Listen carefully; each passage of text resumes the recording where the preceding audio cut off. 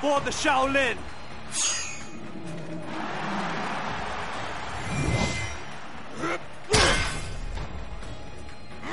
Round one. Fight!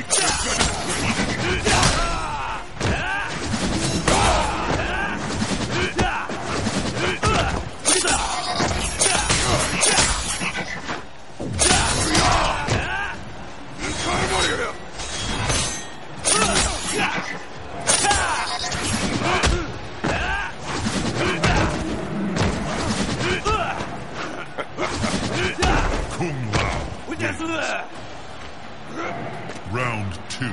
Fight!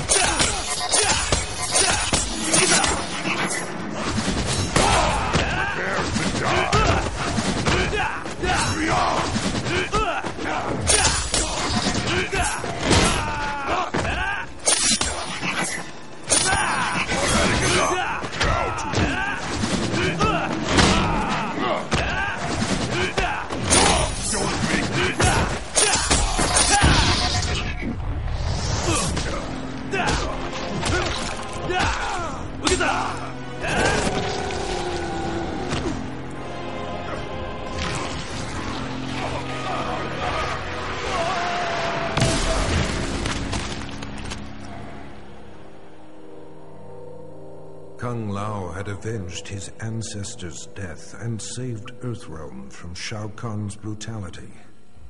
In quiet reflection with Raiden at the grave of the great Kung Lao, he touched the modest stone marker. Images of past events, moments of someone else's life flashed through his mind, concluding with a lost battle against Goro. Raiden theorized that Kung Lao had unlocked memories of his past life. The Kung Lao that stood before Raiden was in fact the reincarnation of the great Kung Lao, who had been defeated by Goro 500 years ago. Had accomplished in the present what he could not in the past.